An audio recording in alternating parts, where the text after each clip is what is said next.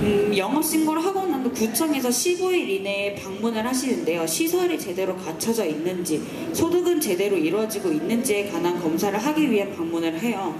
주로 시술 의자의 개수, 고객 의자의 개수, 소독기 정상 작동 여부, 매장 크기에 따른 가격이 제시된 메뉴판 개수 등 매장이 작으면 메뉴판을 하나만 게시하셔도 되는데 뭐 큰 미용실 같은 데 보면은 메뉴판을 안에 내부에 하나, 외부에 하나 이렇게 두 가지를 꼭 필수적으로 하셔야 됩니다. 신고할 때 간판 규제 사항을 확인하고 시행에 들어가셔야 됩니다.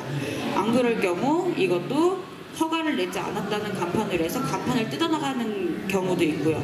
길거리에 많이 보시면은 홍보용 배너들 많죠. 여기 밖에도 있는 홍보 배너.